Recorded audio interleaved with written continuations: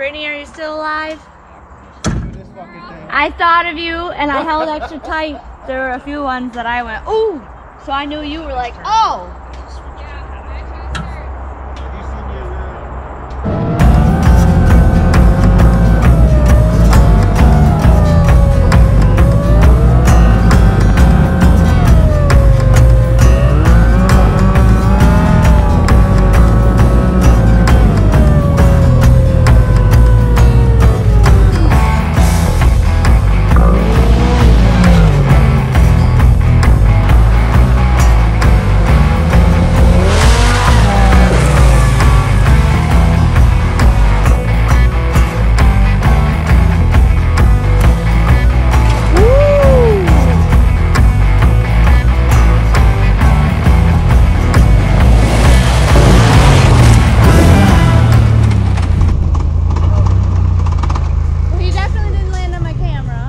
Definitely didn't hit the camera.